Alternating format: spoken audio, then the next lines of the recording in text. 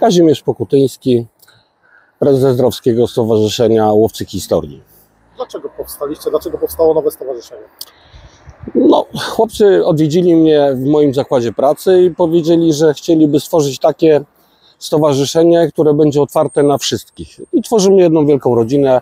E, Regulamin mamy tak stworzony, że tylko ja jestem prezesem i jest skarbnik i wszyscy podejmujemy gremialnie decyzje. Czy kogoś wykluczamy, w którym kierunku chcemy się rozwijać, co chcemy robić.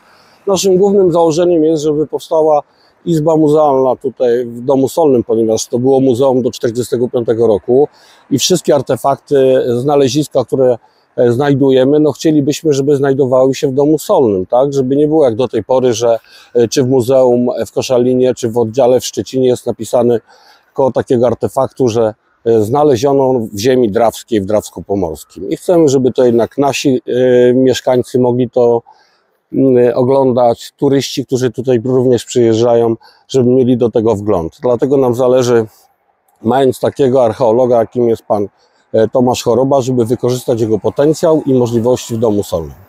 No właśnie, oprócz tego, jakie bieżące działania będziecie realizować? Chcemy przede wszystkim z naszych składek przynajmniej raz w roku pokazywać publikację wspieraną przez Tomka Chorobę, może jeszcze innych historyków z naszej pięknej ziemi, żeby się ukazywały takie cykliczne, coroczne informacje. Co my żeśmy tutaj e, wykopali, co żeśmy znaleźli, w którym kierunku chcemy iść. Chcemy spotykać się również z młodzieżą, e, żeby ich zachęcać do tego, co my robimy. Prawda? W waszym logo czołg. Tak, tak, tak. No to dwa czołgi drawskie. dwa czołgi To was. No w zasadzie ja się upierałem przy kościele, bo jest XIV-wieczny, ale chłopcy się uparli, mówią, że te czołgi i tak są tutaj historyczne, ponieważ e, z tego co się orientuję, jeszcze będąc samorządowcem, brały one udział w bitwie na Górskim, więc jakiś tam zaczątek historii mają, no i jak gdyby walczyły o wyzwolenie Drawska Pomorskiego, więc w tym kierunku poszliśmy. Macie również plan, żeby te czołgi odnowić. Tak, złożyliśmy em, e, do Urzędu Miasta pismo. Jeżeli dostaniemy tylko e, e, zielone światło, bierzemy się ostro do pracy. Często będzie was widać w terenie z tymi wykrywaczami, które tutaj stoją. No, będzie, chłopcy już się nie mogą doczekać, bo ponieważ to troszeczkę trwa od założenia, tak zaczęliśmy w sierpniu naszą przygodę z założeniem tego stowarzyszenia. No i teraz w UKZ w Koszalinie są papiery, żeby dostać zgodę na eksplorację tych terenów. Paweł Nowakowski, Drawskie Stowarzyszenie Łowcy Historii. Nowe stowarzyszenie, nowa przygoda z historią. Tobie historia nie jest obca. Nie, nie jest obca, ja jestem e, uczestnikiem kilku takich projektów, e, należę do kilku stowarzyszeń, do Stowarzyszenia Historyczno-Kulturalnego Tempelburg z Czaplinka, do Stowarzyszenia Historyczno-Kulturalnego Bastion Tradycji z Kalisza Pomorskiego i teraz tutaj w Drawsku. Jako, że jestem drawszczaninem, też chciałem uczestniczyć e, w tym stowarzyszeniu. Co będziecie robić jako stowarzyszenie? Znaczy, w logo e, naszego stowarzyszenia są czołgi, więc na początku będziemy e, rewitalizować, może jak, jak się uda, bo złożyliśmy tam pewne dokumenty do instytucji, które są odpowiedzialne za te czołgi, tak, i będziemy je próbowali odświeżyć, że tak powiem. E, Jest to taka wizytówka Drawska Pomorskiego. Jak ktoś przyjeżdża do Drawska, to mówi, gdzie się spotkamy? Koło czołgów, tak? Więc chcemy tutaj jakoś to e, upamiętnić, e, spowodować to, że te czołgi będą wyglądały dobrze na zdjęciach. A w kolejnych planach? A w kolejnych planach no to chcemy odkrywać historię ukrytą w ziemi, tak? Czyli no będziemy z wykrywaczami chodzić e, tu po, po, po bliskich e, polach, tak?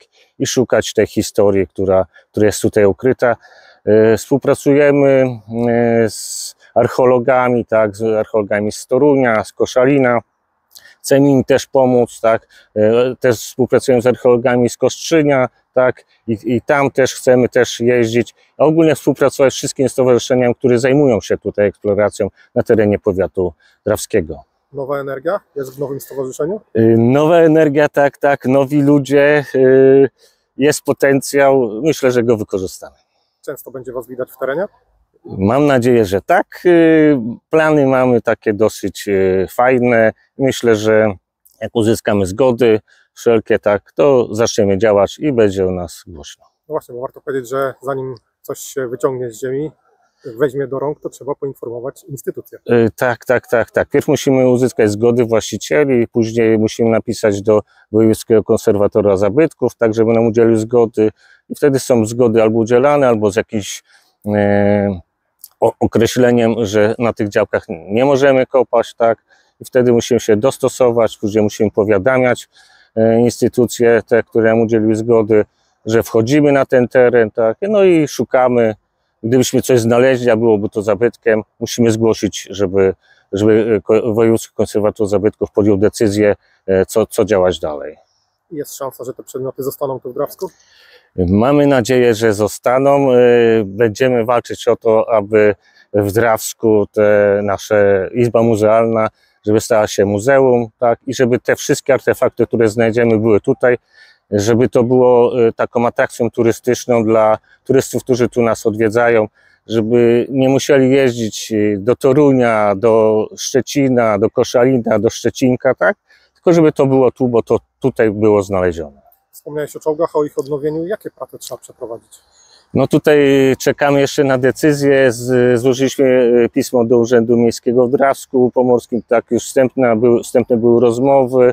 Myślimy, że e, będzie to wszystko pozytywnie, ale wiemy, że e, Urząd Miejski też napisał pismo do konserwatora zabytków, aby, aby potwierdzić to, czy mogą nam udzielić tą zgodę, czy jakieś warunki są szczególne, które musimy spełnić.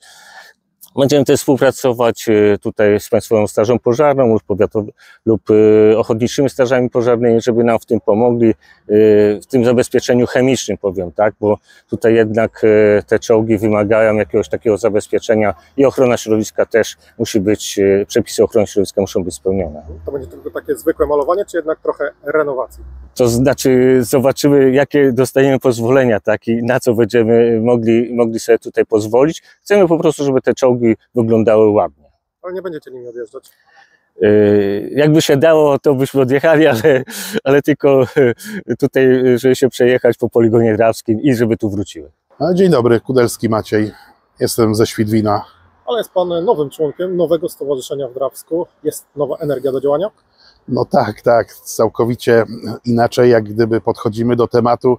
Zmieniliśmy troszeczkę zasady niż w poprzednim stowarzyszeniu. Staramy się zacząć od początku, zacząć robić to dobrze, zgodnie z prawem, tak jak powinno się działać w stowarzyszeniu poszukiwaczy, którym zależy na tym, żeby historia jednak nie zaginęła i żeby był dostęp do tego dla, dla ludzi, którzy się tym nie zajmują, żeby mogli o tym poczytać. Prosta sprawa. No. Jaką rolę widzi Pan dla siebie w stowarzyszeniu?